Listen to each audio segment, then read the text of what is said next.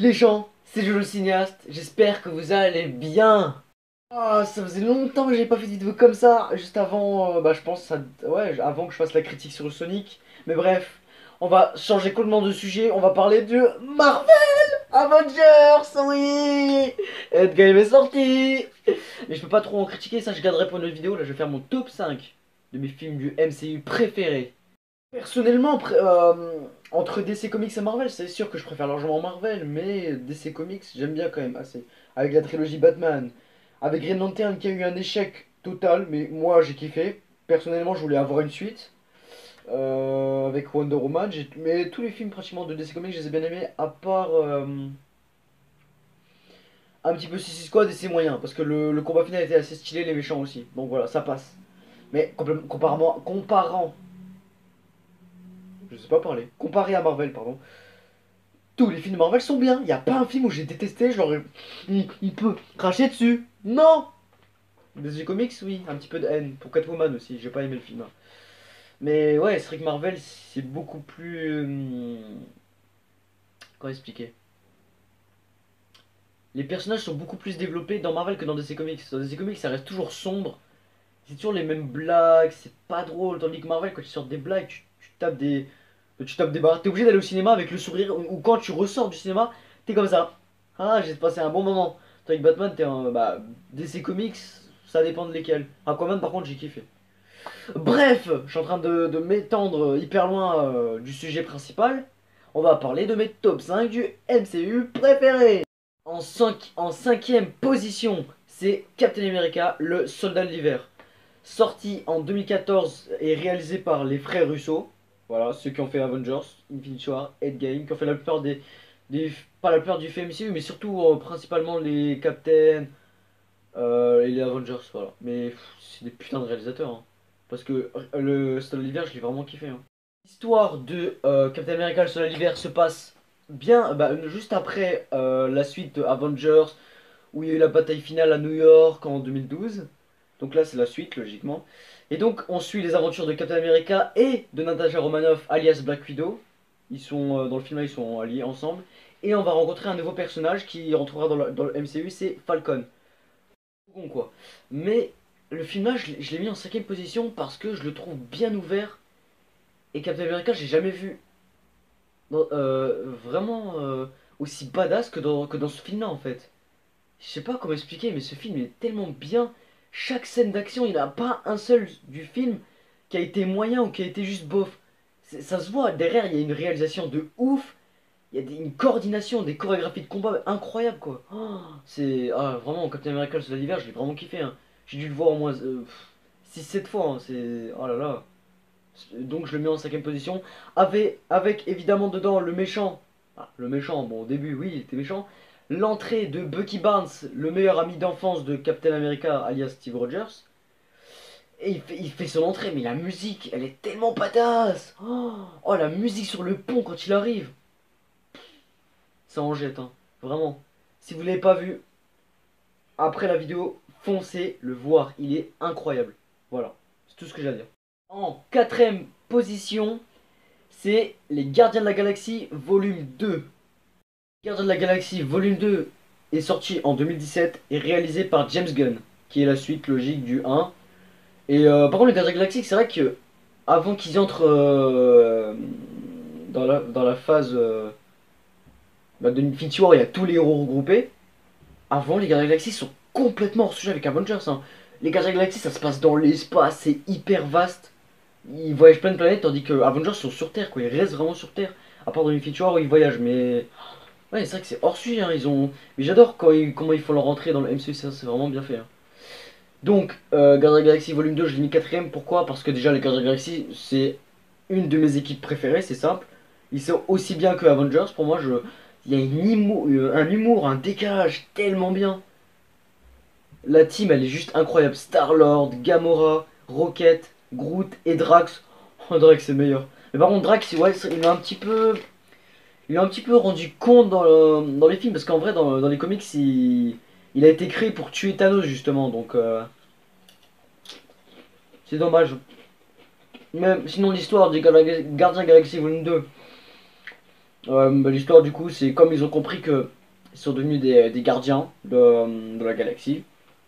C'est que leur devoir, c'est de protéger l'univers, en fait. Et dès le début, en fait, on, on voit déjà un combat contre un gros monstre interdimensionnel. C'est incroyable dès le début de l'action. Et pendant tout le film, il n'y a pas trop d'action, mais il y a une histoire incroyable avec, son, avec le père de Star-Lord qui retournement de situation à la fin, incroyable. Même moi, je m'y attendais pas en fait. Et c'est ça qui a rendu le, truc bien, parce que pendant tout film, tu dis, mais attends, c'est pas possible, il n'y a pas de méchants. Dis pas que les méchants, c'est les soldats de merde, là, les soldats dorés, là. Je sais plus comment on les appelle. En mon par contre, si ça aurait été eux, j'aurais ragé. hein. Je vous le dis direct. Heureusement que c'est pas eux les boss de fin. hein. De toute façon, bon, je peux très bien spoiler. Hein. Il est sorti il y a 3, 2 ans. Allez, le boss de fin, c'est le père de euh, Starland, quoi. Euh, Comment il s'appelle? Ego, la planète d'Ego, quoi. Voilà, donc Gardien de la Galaxie, volume 2 et quatrième de ce classement. Troisième position, c'est Avengers Endgame. J'ai pas besoin de vous, de vous dire en quelle année il est sorti, puisqu'il est, il est actuellement au cinéma. J'ai été le voir deux fois au cinéma. Incroyable. C'est incroyable ce film. Il est tellement bien. Mais vraiment, bref, il est réalisé par les frères Russo, voilà, Anthony et Joe Russo, qui dure 3 heures quand même. Le film dure 3 heures, vraiment. Et c'est la suite directe de Infinity War. Dès le début, c'est ah, direct, c'est c'est sombre. T'as Tony qui est dans l'espace avec euh, Nebula, c'est incroyable. Mais là, par contre, là, je peux vraiment pas spoiler parce que là, c'est en plein actuellement au cinéma. Je vais spoiler, mais je vous dirai. euh, normalement, c'est marqué en dessous euh, à quel moment de la vidéo vous devrez, euh, vous devrez avancer. J'ai rien à foutre. Si vous, si vous avez pas vu, tant pis pour vous. Si vous l'avez vu, bah c'est cool. Du coup, euh, avant cette game, je l'ai kiffé. Surtout la bataille finale. Ah, la bataille finale incroyable. T'as tous les méchants réunis avec Thanos. T'as Captain America, il est tout seul. Il est tout seul contre eux. Et là, il dit la fameuse phrase. On l'attendait tellement, la fameuse phrase. Avengers Rassemblement. C'est le truc qu'il fallait dire. Et ils l'ont dit. Contre, oh, la bataille finale est juste incroyable. C'est juste dommage qu'elle serait vraiment un tout petit peu longue. Parce que la bataille finale, elle dure pas plus de 5-10 minutes. Parce qu'après, c'est plutôt une course-poursuite pour protéger la, la gant de l'infini. En fait, Euh, c'est chaque héros doit, doit protéger la gant. Parce que Thanos, il veut bah, il veut l'utiliser pour, encore une fois... euh, comme il y a un bordel avec les voyages dans le temps dans le endgame, c'est un gros bordel. Mais c'est juste dommage, ça manquait de combat en fait. C'est juste ça, ça manquait beaucoup de, cruellement d'action quand il voyageait dans le temps. Il y avait de l'action, mais c'était plus. En fait, le film il était beaucoup. Euh... Et beaucoup de la comédie. hein. Moi qui pensais que ça allait beaucoup plus de sérieux, ils en, ils en avaient rien à foutre. C'est de la comédie. C'est pas, une pas une mauvaise chose, hein. c'est c'est bien. Moi je dis pas, je l'ai quand même mis troisième de classement, donc c'est. Justement, c'est bien. Perso, mon combat préféré du film c'est Thor, Iron Man et Captain America contre Thanos. Il est juste incroyable. Et quand Captain America il soulève le marteau de Thanos, c'est. Ah la vache. Incroyable. C'est. C'était inattendu, mais en même temps c'était logique. Vraiment, c'était logique qu'il peut soulever le marteau de Thor parce qu'il est digne. Il est digne et. euh, Et voilà, il a confiance en lui, c'est ça, qui lui a permis de soulever le Mjolnir quoi. Par contre, il y a un truc que je comprends pas, c'est pourquoi Captain America il peut contrôler la foudre. Odin n'a pas dit dans Thor Ragnarok que justement que euh, bah, euh, Thor c'était pas le dieu des marteaux, c'était le dieu de la foudre. Donc justement, ça veut dire que Captain America il contrôle la foudre aussi, ça j'ai pas compris.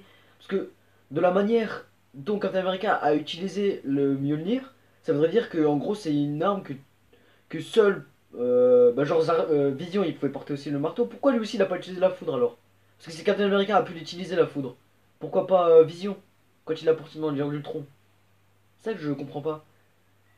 Je sais pas. Peut-être que Anthony et les frères Russon vont nous dire, mais en tout cas, moi je, je comprends pas. Si vous avez compris quelque chose, bah, dites-le moi dans les commentaires et on pourra, en discuter quoi. Deuxième position, bah justement, Thor Ragnarok.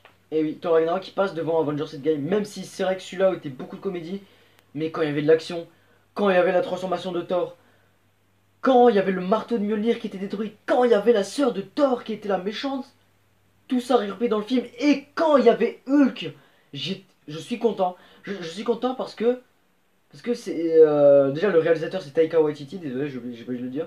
Le mec, c'est son premier film de science-fiction, en plus de super-héros quoi. C'est un film méga important, ça se passe juste avant Infinity War. Donc les événements sont censés. T'as Thor qui s'est coupé les cheveux, Thor qui perd son marteau, t'as le, le, le, retour de Hulk, t'as as la sœur de Thor qui est bien plus puissante que lui. Et il a, le réalisateur, il a réussi à gérer tout ça. Et c'est vraiment bien fait, quoi. Quand il y a de la comédie, c'est vraiment très drôle, mais quand c'est devenu, quand c'est sérieux, ah ça l'est. Hein, les scènes d'action sont incroyables. Bon, ça, on n'a pas besoin de le dire, c'est Marvel en même temps. Mais euh, oui, c'est vraiment Thor Ragnarok. Je l'ai mis deuxième parce qu'il est vraiment excellent ce film. J'ai dû le regarder 6 ou 7 fois, pareil. Mais je m'en lasse pas, quoi. Je pourrais le regarder vraiment euh, quasiment tout le temps, quoi. Autant de fois que je le veux, je m'en lasse pas. Thor Ragnarok, je le conseille parce qu'il est vraiment très bien fait. Il est incroyable, quoi. Et il y aura évidemment un Thor 4. Ou peut-être il sera avec les Gardes de la Galaxie. Mais en tout cas, dans la Garde de la Galaxie volume 3, c'est sûr que Thor il sera avec eux. Parce qu'il tease carrément à la fin Game. Donc euh, voilà. Premier de ce classement, je pense que vous, euh, vous savez déjà quel film je vais dire. Avengers Infinity War. Il n'y a pas à dire. Ce film est excellent. Il n'y a rien à dire d'autre. Pas. Je, peux pas. Je peux pas dire de, de, de je peux pas dire de, du mal de ce film parce qu'il est juste excellent. C'est incroyable le, développement, le développement de Thanos, il est incroyable. C'est là, c'est là qu'il fallait, tout mettre là-dedans, dans Thanos, et ils ont réussi. C'est ce que nous, on avait peur, les fans, c'est que ils ratent, sur, ils euh, le perso de Thanos. Que Thanos, on l'a beaucoup vu dans Infinity War. Hein. Ah, c'était l'élément central du film, en fait. Ah, c'était lui, hein. Et George Brolin, l'acteur, il a assuré, hein, vraiment. On peut vraiment être fier de lui. Je suis fier de toi, George Brolin. Incroyable les scènes de combat, incroyables. L'utilisation du gant et des pierres d'infinité, incroyable. Tout est incroyable dans ce film, c'est pas vrai. C'est, je peux, vraiment rien dire d'autre. Infinity War, il est premier. Je, personne, aucun autre film de Marvel, peut-être dans l'avenir, peut-être, certes, mais pour l'instant, ça reste le meilleur. Même pour moi, qui me fait mal, la trilogie Spider-Man qui a rien à voir avec le MCU, Infinity War est passé devant. Ah oui, mais de peu, parce que la trilogie Spider-Man, c'est vrai que c'est quand même la base, et c'est mon enfance aussi. Mais bref, Infinity War, c'est excellent. Évidemment réalisé par Joe Russo, sorti en 2018. Euh, la suite de Captain America Civil War, Thor Ragnarok et Endgame, c'est la suite Infinity War, justement, euh, que je parlais avant. Mes 5 films préférés du MCU. Dites-moi ce que vous avez pensé dans les commentaires. Partagez la vidéo si ça vous plaît. Mettez un like et euh, abonnez-vous, évidemment. Mais euh, et franchement, ce serait intéressant que vous mettez aussi dans vos commentaires quels, sont vos 5 films préférés du MCU. J'aimerais bien voir ça. Bon bah je vous dis euh, bientôt et à la semaine prochaine. Devinez c'est quelle scène? Bouge pas, tête de bouc.